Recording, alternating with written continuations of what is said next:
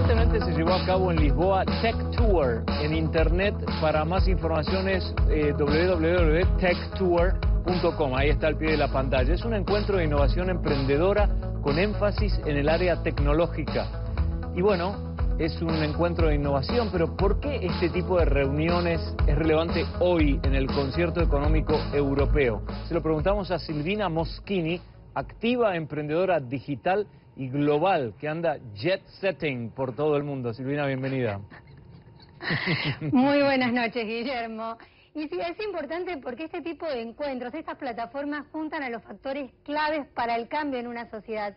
Los emprendedores con sus sueños y con sus ambiciones de cambiar el mundo, el gobierno que tiene el talento o que tiene las posibilidades, si se quiere, de poder cambiar las regulaciones que puedan dar incentivos para hacer que pueda haber muchísimo más emprendedorismo y por supuesto los no menos importantes inversores que tienen el dinero para hacer que el sueño de los emprendedores se vuelva realidad. ¿Cómo hacemos para convertir un hecho como este, que de hecho lo vemos en Latinoamérica también eh, frecuentemente con estos think tanks, ¿no? estos grupos de emprendedores digitales, ¿cómo hacemos para que eso se convierta en una realidad y active una economía deprimida como es la de muchos países de Europa?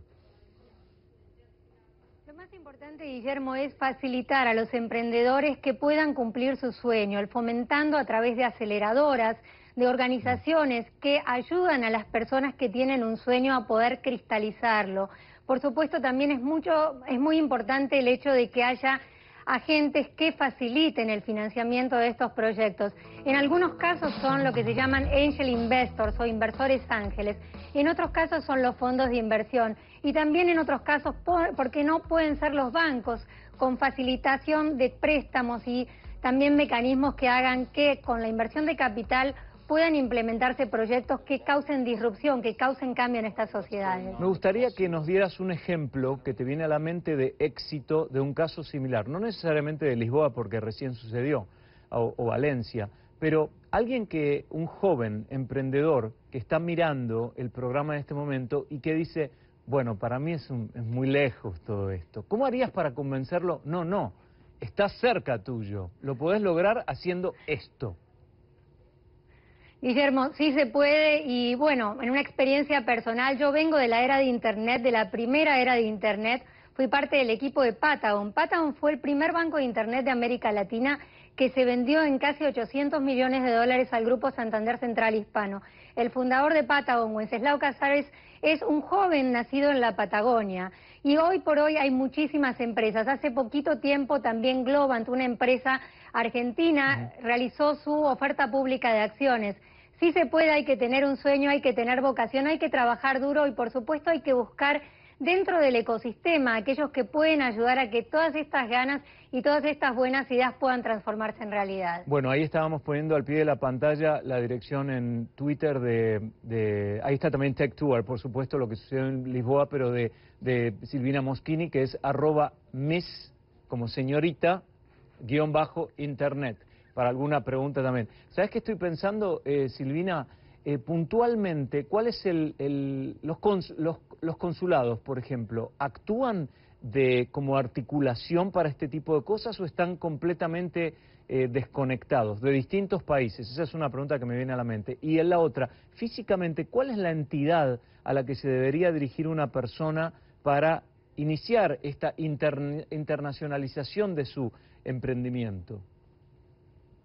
Los consulados en general no realizan demasiadas actividades para apoyar el emprendimiento, salvo la organización de algún tour. Pero sí hay, por ejemplo, en los distintos países iniciativas como en el caso de Colombia Impulsa, en el caso de Chile, Pro Chile también con fondos del de la Corfo que ayudan al emprendimiento.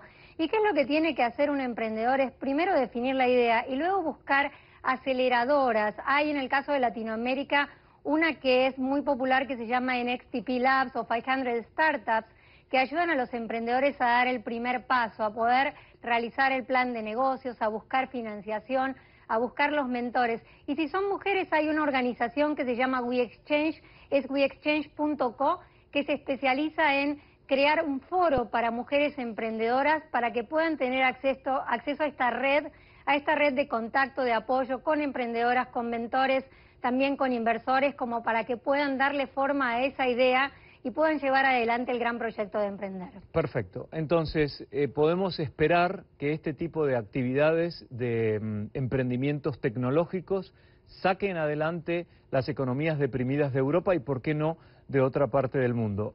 Arroba mes de señorita guion bajo internet. Preguntas para Silvina Moschini. Gracias, Silvina. Un gusto verte.